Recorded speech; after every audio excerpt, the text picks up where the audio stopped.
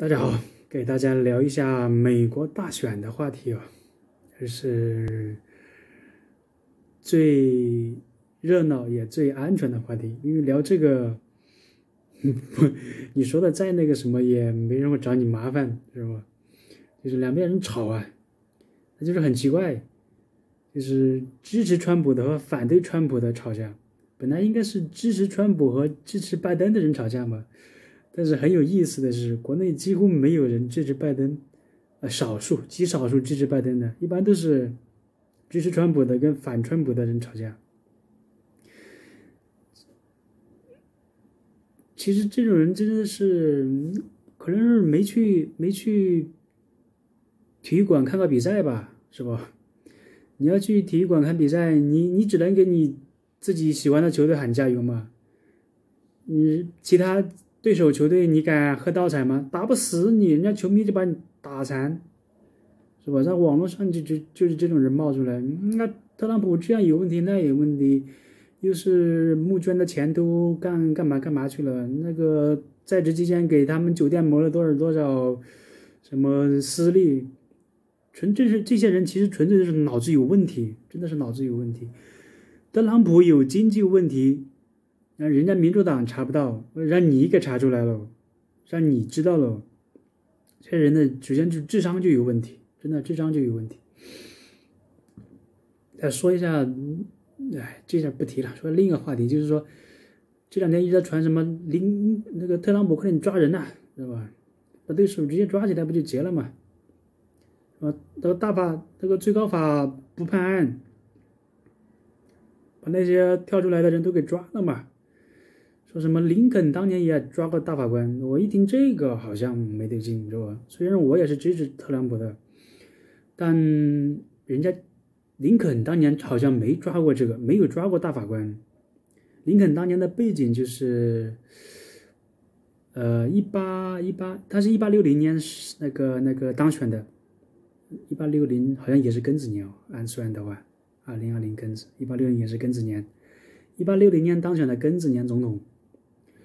呃，他是主张主张主张废弃奴隶制的，他这是他的纲领。然后南方要蓄奴的，给他是北方，他要废弃这个奴隶制的。然后，然后就是搞内战，搞分裂嘛。然后林肯的林肯的意思，林肯当时就是下令要抓这些人。林肯要抓人，但是大法官不同意，说你没这个权利干这种事情，因为那个这些人是受宪法保护的，叫那个什么人身保护令。然后林肯就跟这个总统，跟林肯总统就跟这个大法官有有这方面的矛盾。林肯要抓人，大法官说你没这个权利。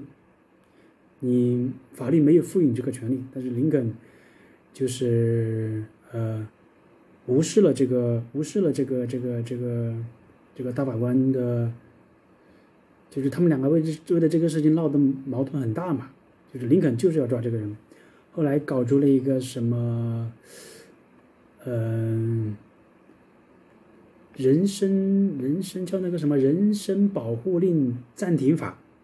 就是说，我现在颁，我现在实行这个人身保护令暂停法。就是说，你现在现在是戒严了，军管了，我要抓你了。你现在不受什么人身保护令，不受保护了。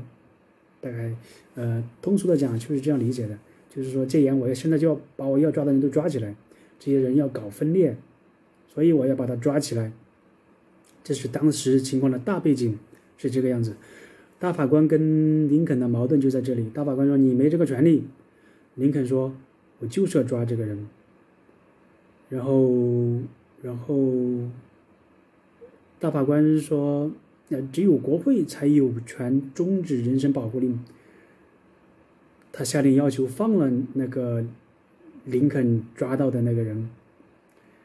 林肯，林肯对这个对对大法官下的这个命令置之不理。他认林肯就是说，认为林肯认为，这宪法上事实上确实赋予了总统终止人身保护令的权利，反正两边就是吵嘛，最终嘛，林肯还是妥协了，他还是去国会申请的吧，就请请求国会呃授权总统，授权总统暂停这个法案啊，暂停那个人身保护令，是一八一八一八两年后吧，两年或三年后，一八六三年的时候吧，就是国会通过了这个法律，但是他抓人是之前抓的哦。抓人，人已经抓了，法案是后面通过的。反正当时就闹了这个矛盾。为什么说林肯伟大呢？是吧？首先，第一，他就是他在废除了黑奴，这是一点。第二，他在关键时候没有让美国分裂，就是他无视了美国的最高法的那个命令，把要抓的人抓了。大概就是这个，这个，这个。故事背景大概就是这个这个背景，林肯没有抓人，没有抓那个大法官，所以网上传的什么林肯连大法官都抓过，这个呃误传，这个是误传，或者说有人故意编出来的，就是自媒体嘛，收割一下那些那些那些激情澎湃的人嘛，就是那种比较缺乏脑子的人，缺乏缺乏历史知识的人吧，是吧？嗯。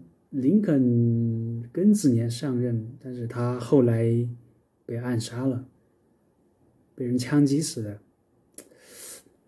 哎，这个有点可惜了，这个有点可惜了。说他是暴，那个人说他是暴君啊，把他给打死了。哎，这个其实，但是林肯没有抓这个大法官，但是他好像我这里看到查到资料，他好像。呃，把另外一个法官给给废掉了，因为他搞了一个什么，那个，他是把整个特区的那个那个那个那个那个，把哥伦比亚整个特区的那个法法庭给废除，后来又找了个借口，就就又后来又重新组建了，但是但是被他被他废除的那个。他他他他他就是因为那个法官，那个叫什么梅里克，他就就是因为那个法官，嗯不爽，所以他直接废除了这个法庭，然后重新组建的时候，那个法官就不在了，也是因为那个那个那个人身保护令的那个那个那个那个那回事吧，反正反正就是说，林肯当时是不仅要不仅要对付几个南方州，南方州是富裕州，因为他们蓄奴嘛，他们工业。工业工业成本低嘛，劳动力便宜嘛，奴隶没有劳动力，管口饭嘛，是吧？所以他要对对抗富有的南方州，还要对抗大法官，又废除了奴隶，又保持了废除了奴隶制，又保持了国家的统一。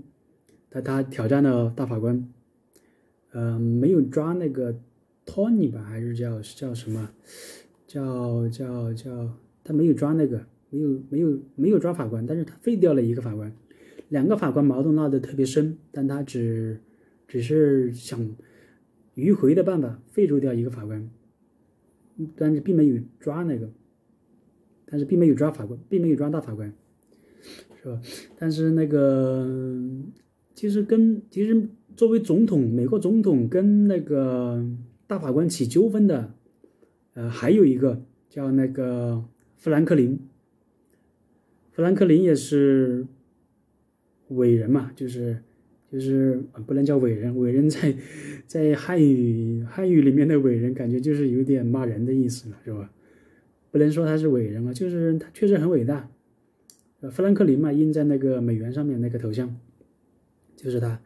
他当时是经济大萧条的时候嘛，就是他要实行新政。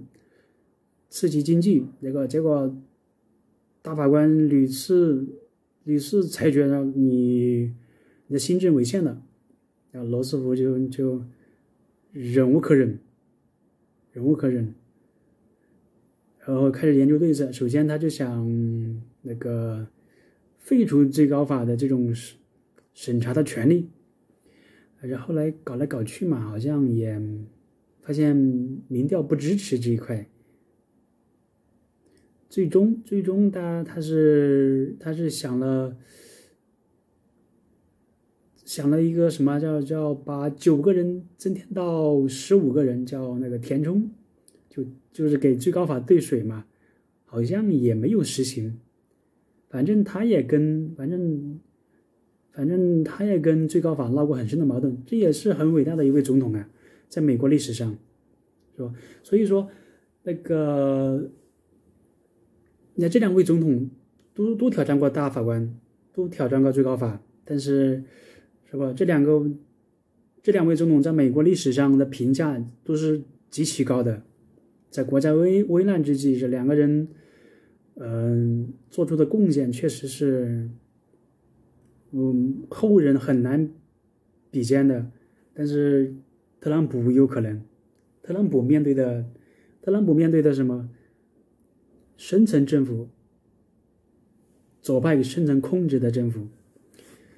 那从历史上看，今天的美国大选，呃，首先，总统在特殊的时候可以无视大法官的法律、大法官的命令，可以跳过最高法，直接实行那个、那个、那个人身保护令暂停法案，就是我可以抓人了，就是我一个行政命令，我就可以抓人了，什么时候？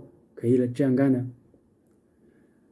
国家分裂，林肯是面对这个，然后特朗普面对的是大选被外国干涉，也就是说，特朗普还有大招没放，他可以宣布戒严，他可以动用军队抓人，好戏还在后头，所以说大家不要心急嘛。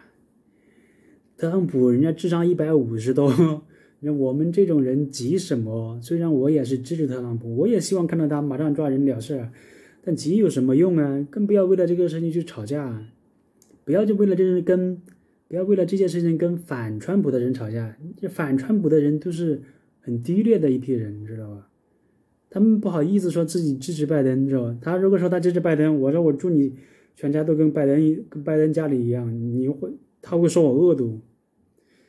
是，这是个梗，这是个笑话，是吧？一直在流传这个笑话，所以说没人好意思支持拜登嘛，是吧？圈子里面感觉支支持拜登就觉得很丢人嘛，对吧？中国人的理念是什么？一家不扫，何以扫天下？你你大儿子吸毒吸死了，四十了四十多岁，小儿子也是不成吸的不成人样了，呃，这这拜登就是个恋童癖。哎，所以说支持拜登的人都不好意思，他只能砸砸川普嘛，砸也砸不动。川普真有问题，那轮得到你来发现？除非你是领领狗粮的五毛，是吧？接到命令了要带带风向，这种人，这种人我相信有大批的在，砸川的大部分都是这种人。